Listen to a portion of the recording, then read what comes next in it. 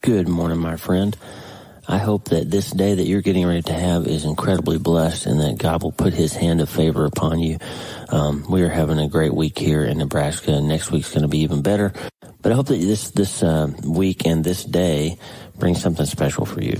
That, uh, God's got a plan for you and then he will shine his light upon the steps that you take today. I'm feeling incredibly blessed today. We've just had some amazing emails and contacts from you, from listeners, uh, and readers this past week. This is just an amazing community that's come up. You know, we're, um, we're all drawing together to help each other in different ways and and that's just such a blessing how the church and the kingdom have moved into this digital age and, and uh, we're just grateful for you. Um, and so i hope that uh, whatever's happening with you today that you bless somebody with your words and with the actions that you take and that somebody blesses you. And if you're hurting i hope that and i pray that somebody sees you and hears you. And I hope that that having been heard and seen will turn into you seeing and hearing somebody else and we'll just draw closer and closer together. And by the way, that, um, that community that we have because of the podcast is really founded around and centers around the newsletter. So if you're not getting my weekly letter, I encourage you to sign up. It becomes a real community. You can have a community here too. WLeeWarrenMD.com slash newsletter is how you get connected and turn this from just a podcast experience into something real in your life. WLeeWarrenMD.com slash newsletter. These people care about each other.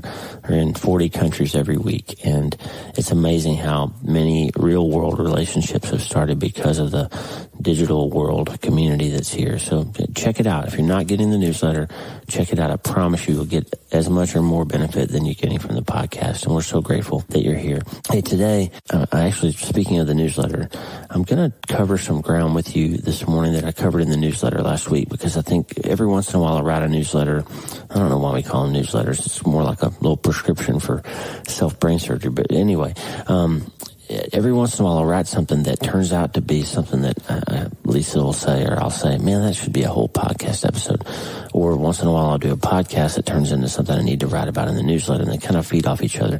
So if you're getting the newsletter, then I apologize. You've heard some of these ideas before, but if you're not, this will give you a taste of the kinds of things that we talk about every Sunday. Every Sunday, uh, since 2014. We've had the, the letter gone out without fail. And so today we're going to look at how to start today off right by getting our minds in a better place. If you get your mind right, then everything else works better, right? That's, that's the whole idea behind self-brain surgery. If you go through something hard, you learn how to think about it in a different way. That's how you handle it. It's how you survive it. It's how you find your peace and your faith again. So the first thing is you got to separate the, the concept of mind from the brain, the organ of the brain. The, the organ is the physical location of where your mind and your spirit, your heart, your soul, and all those things are. And we'll talk about brain health many times on the podcast, just not today. Today we're going to talk about the mind, the part of your brain that is who you are. Your mind, for the purposes of this discussion, is the part of your brain that produces your thoughts, your emotions, your memories, mood, affect, behavior. It's your belief system, your worldview, your style, your core. It's you, whatever, whoever you are, Brian or Lisa or Al or Kristen, or, you know, whoever you are out there. Juliana or Lola, Charles. It's your belief system and, and your you-ness that's your mind. The, the, the, thing that makes you you, the thing that God crafted into you is your mind. Your mind makes you you. Getting your mind right then at the start of every day will set you up for success all day long. So I want you to talk about today, I want to talk about the systems and the routines that I use to get that done. I've done a podcast in the past called Systems Keep You Sane. And for me, like if I don't have a very organized, carefully organized way that I put even simple things like where, where I put my keys in my wallet, I will literally literally walk out the door without my wallet or my keys if I don't have them in the same place every day. I, I literally have to, I need to systematize that to the point that it's just automatic that I reach into that drawer and my hand's going to land on those things. Or if they're not, if I have a, if I don't get in a diligent habit of following a system every day, then I really get off and I'll spend time and waste time looking for things that ought to be systematized. And I would just challenge you to say that if you spend more than five minutes a week looking for stuff that you need every day, you need a system around that. If you ever have to look for your purse or look for your keys or look for your wallet, you need a system. You need a place. You need to, you need to square that away because you're wasting five minutes of your life every day or every week on something that ought not to take you that time. How much better would things be if you didn't have that little tiny nagging frustration of not knowing where your keys are, right? Get yourself a system. So we're going to talk about that today. We're going to talk about the systems and routines that I use personally to get the to get the thing done to where I'm set up. I got my mind right at the start of the day and it's setting me up for success. We're going to learn how to manage our minds and we're going to start today. Hey, are you ready to change your life? If the answer is yes, there's only one rule. You have to change your mind first. And my friend, there's a place where the neuroscience of how your mind works smashes together with faith and everything starts to make sense. That place is called self brain surgery. You can learn it and it will help you become healthier, feel better, and be happier. And the good news is you can start today. Thanks, Lisa. Hey, so glad to have you listening today. I'm Dr. Lee Warren, and I live in Nebraska in the United States of America with my incredible wife, Lisa, my father-in-law, Tata, and the super pups, Harvey and Lewis.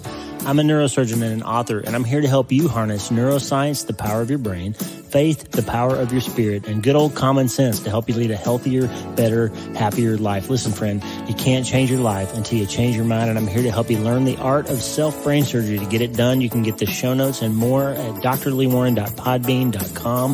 That's drleewarren.podbean.com, and if you like the show, please subscribe so you never miss an episode and tell your friends about it. If you tell two or three friends this podcast was helpful to you, imagine how much good we can all do around the world together. I'm Dr. Lee Warren and I'm here to help you change your mind so you can change your life. Let's get after it. All right, friend, this might surprise you, but there is nobody else in the world in the history of humanity or into the future of history of humanity. All through eternity, there is nobody else that has your mind. And that, take that to heart. God made you individually and uniquely you. And that means that your mind is super important because God made your mind uniquely for a purpose. It's His purpose. So what would it look like if you just spent a few minutes every day working on your mind? And my friend Daniel Amen, who's a world famous psychiatrist, he says it's helpful to think about your thinking. I've said that to you a million times. Think about your thinking. Juliana Kelly wrote in one time after she learned the ideas behind self brain surgery. Juliana is a listener from Michigan. And she, right, Juliana? I think Michigan. um, now that I say it out loud, I'm not sure, but I think she's from Michigan. Anyway, Juliana wrote in and she said, you know what? Before I started using the self brain surgery techniques, I thought that my thoughts just happened to me. I thought that my thoughts just happened to me. Well, they don't. You need to learn how to think about your thinking. You can manage them. People wrongly believe that how they think and feel is determined for them, but it is absolutely not. You, my dear friend, my dear listener, you are in charge of how you think, feel, and behave. You're not in charge of all the things that happen to you but you are in charge of how you respond to them, how you think about them, how you feel about them. Remember, Christine Kane said, just because something happens to you doesn't mean it's about you. And we often make the mistake of making our circumstances become about us instead of just around us. And the problem is that from a neurochemical perspective, your baseline programming is aimed towards protective negative thoughts and feelings. That's for survival. We've talked about it before. But it's good to assume that there's a bear in that cave so you don't go in there and get eaten up. But it, but if you don't actively manage your mind, then you'll spend your whole life bouncing around from one negative thought to another one, and your feelings will determine what you do and how your life plays out. If you don't square away the idea of understanding how to manage your baseline perspective, then those negative thoughts will drive the ship. That's just the way you're wired. They're going to be in charge if you don't manage them. And one of the most important ways to get your mind right first every day is to focus on clearing it out and directing your mind's behavior in a purposeful way at the first part of every day. This is super important. The idea that you wake up and you have an agenda that you are going to accomplish to wrestle control of your mind from your baseline negative set. I believe the best way to do that I'm talking from 52 years of experience here. The best way to get your mind right and set yourself up for success for the coming day is to spend a little time with your creator and let him set the tone.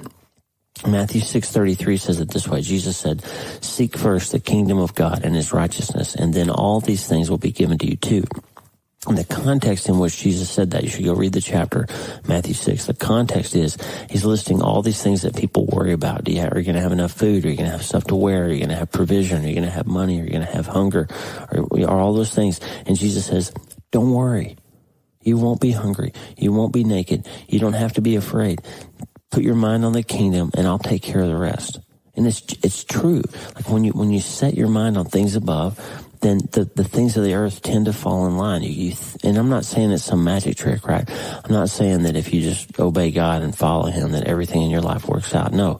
But what happens is when you, when you set your mind on Him and you put your mind in the context of how He wants you to be and what He intends for your life to be about, it clears away the clutter. The negativity starts to peel away and you start to see ways to get to the things that you need you start to see opportunities and possibilities instead of frustrations and fears. And it's true. You get your mind squared away, everything else follows. And that's where the peace comes from. It's all about the peace and protection that God gives you when you seek Him first. If you don't believe me, just try it. Just get up in the morning spend a little bit of time focusing on Him first and you'll start to see everything kind of peel away. We're going to talk about how in a minute. Because in our modern lives, we don't have to jump out of bed and go kill a deer or fight off a bear to feed our family usually. We don't have to walk down to the river with a bucket and bring water home to drink. We don't. I mean, people in other countries do. When our daughter Kaylin was in Nepal, they had to walk down a hill and buy water in a bucket to bring it up the hill to the place where they were staying to take a bath every day. And there's people living like that right now all over the world. So if you don't have to do that, take a moment to be grateful for it that you don't have to get out of bed and walk somewhere to grab water to bring it back to brush your teeth. We don't have to skin the deer to make clothes anymore usually in the United States at least. So those things seem less likely to distract us and keep us from seeking Him first, but yet we still have all kinds of distractions. So maybe read Matthew 6 again and substitute things that do threaten you. So if it's not hunger or clothing or shelter, what does threaten you to keep you from seeking Him first? Is it Facebook or Instagram or Twitter? How many of you, how many listeners how many of people in my house, how many, how many times do I do it where first thing I do when I roll out of bed while I'm, you know, clearing my eyes is open up my phone and look at something, Facebook or Instagram or Twitter or email, the news, thinking about work for the day, whatever it is.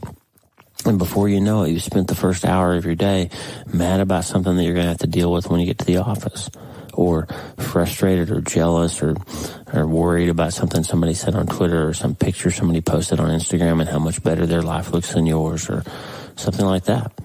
And just notice that the promise in Matthew 6 is that seeking him first is good for you. He says, seek him, seek you first the kingdom and then all this other stuff will come for you. Why? Because seeking him first gives him honor and it sets your mind right. I'm not afraid. I'm clear in my mind that God's got this covered and I know my place in the relationship and He's first and He's going to take care of me.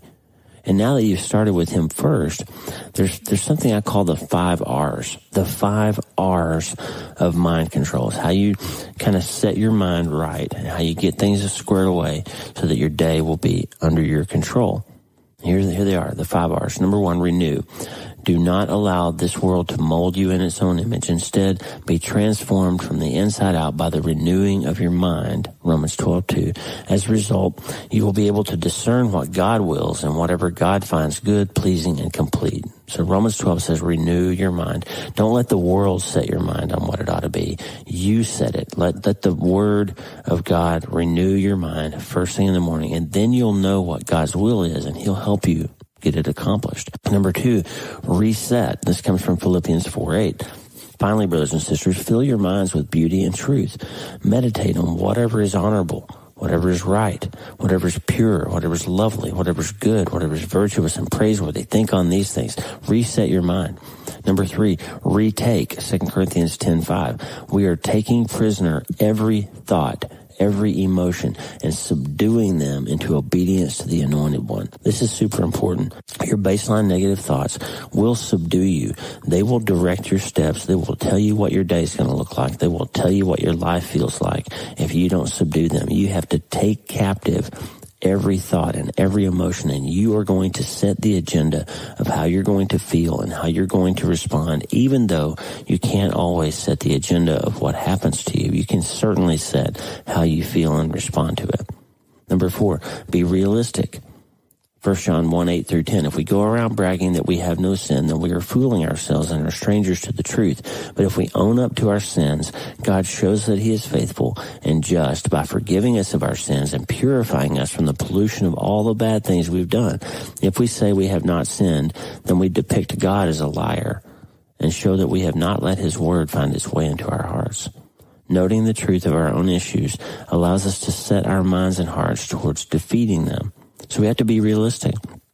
And finally, number five, be ready to roll. Stay focused. Set your mind on what's above, not on earthly things, because your old life is dead and gone. Your new life is now hidden, enmeshed with the anointed one who is God. Colossians 3, 2 and 3. So be ready to roll. If you set your mind on what's going on and what's above, you get your things squared away, get your emotions in check, then you are ready to roll for a productive and powerful day. And that's it. The first few minutes of your day should be about resetting your mind and being ready to keep in your control throughout the day your thoughts and your emotions by realizing that it needs to be in God's control. You're putting it at His feet.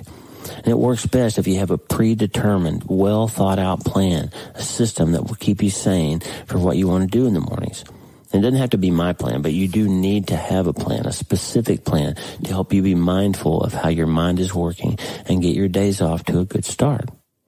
And two of my favorite Peloton instructors have sayings around this that are helpful. Chase Tucker says, win the morning, you'll win the day.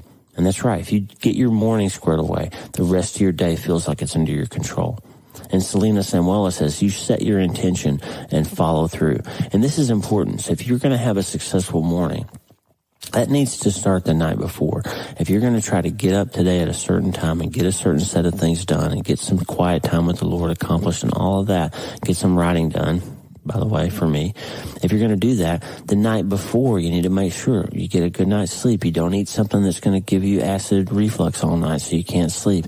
You don't drink too much so that you're going to oversleep and have a headache the next morning. You set your intention the night before about what the next morning is going to look like and you follow through right?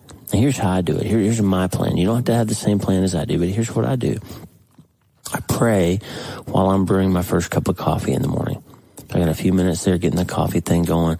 I need some coffee to help me wake up. So I'm praying while I'm doing that. I put my headphones on. I listen to worship music. Lately I've been really geeking out on Tommy Walker's new album, Highest Praises. And it, if you haven't listened to it yet, go to TommyWalkerMinistries.org or any place you stream music, and you can listen to Highest Praises. It's about 45 minutes or so um, of, of, just amazing worship that they've written. And that's I'm right now. I'm kind of I'm kind of camping out there because it's helping me get closer to God. And I read my Bible, and I send one email I don't get in my email and look around. I send one email every morning, first thing, and it's my email that I send to, to Lisa. I send a love letter to my wife, Lisa, every single morning. The first email that I send every day because I want her to know that she's at the top of my mind and the top of my heart. And I want to remind myself that, hey, of all the things I could be thinking about, of all the things I could be doing after I spend a little time with the Lord, the first thing I want to do in the morning is remind myself what I think about related to my wife. That's gonna, that's gonna put my mind on being a better husband to her all day, to, to acknowledging her, seeing her, listening to her, promoting her, protecting her, thinking about her, and that's going to give me defense against anything else that might come along that day because I'm dwelling and resting in my relationship with her. And when she wakes up, once she goes through her routine and she finally gets to email, the first thing she's going to see is that her husband was thinking about her that morning. So that's part of my plan every day to spend a little time working on my marriage. Now, otherwise, I do not go to my email inbox. I do not spend time in email until I have accomplished my own agenda. Brendon Burchard, one of my favorite motivational guys, he wrote, email is a highly organized way to let other people set your agenda for you. You think about that for a second. You want to spend your day under your control or do you want to spend it reacting to what other people wanted to send you the night before? That's a powerful way for you to get yourself kind of situated. Just stay away from email and set your own agenda. And the last thing I do is once I've done with all that, I read a short devotional every day that's called 300 Words a Day from John Swanson, my friend. He's been, he's been on the podcast before. And John just has a short little blog and it always kind of gives me something fresh to think about. And you should check it out, 300wordsaday.com, all smashed together. Um, and John's little email takes about five minutes for me to read every day, and it just kind of gives me something fresh to, to put in my heart for the day. It's always helpful. And I read the verse of the day on BibleGateway.com. So whatever I have in my own personal Bible study plan for the day, I always open up Bible Gateway and just see what the verse of the day is. And it's amazing how often that verse turns out to be something I needed for that day, a little bullet to put in my gun to fight the battle for that day. And the last thing is I, I pray. I pray about the words that I've read, about our family, about my wife, about the day ahead of me, that God will show me what I need to do. And I pray for the world and our leaders and our president and everybody. I just kind of get my brain on. That's how I start today. It sets my mind to help me succeed for the coming day. It gives me perspective. It makes me feel good. And on days when I oversleep or, or you know, had a bad night the night before, couldn't get some rest or got called in, if I miss my routine in the morning, the whole day doesn't feel right. Everything's off because I didn't get my five R's. I didn't renew, reset, retake, be realistic and be ready to roll. And it messes my day up. So after I do all those things, and that's about the first 45 minutes or one hour of every one of my days. That's when I write. That's when I record podcasts. That's when I work out. And lately I haven't been working out as much as I want, but everything's got its season, right? So every day I run through my system. That's what I do. People say, well, how do you have time to do all this stuff? Well, because I don't sleep till 7.30 and roll out of bed and be at work at 8. I manage my time so I can get enough time in the morning to get my routine because I know that's what I need to do to feel and be productive and, and be as connected to the Lord as I want to be. I need to have that time. For me, that system keeps me sane. So I'm careful with what I do at night so I can have that time in the morning. I don't go play golf with my friends five times a week. I don't, I just don't. I spend that time in the morning and I carve that time out for myself so the rest of the time I can be with my family and my friends and, and all of that. What about you? How can you start today? It's important for you to make your own system, to, to figure your own deal out, but to be giving that time to God and He will give it back to you in spades. I promise you. Control, manage, reset, and it will all work out. Jesus said it. Seek ye first the kingdom and all these things will be added to you. It's important, friend, to take charge of your own mind. Your routine doesn't have to look like mine, but having one will help. If you want to become healthier, feel better, and be happier, you can't get there until you can be in control of your own mind. You're too busy. I promise you, you are too busy to be spending energy worrying about the bear in the cave or where your keys are. You're too busy. You got to take those thoughts captive and you will watch your life improve. But guess what? You have to start today. Hey, thanks for listening. The Dr. Lee Warren podcast is listener supported. Check out patron.podbean.com slash Dr. Lee Warren. That's patron.podbean.com slash Dr. Lee Warren. Patrons and partners get free books, transcripts, special patron only episodes, and more.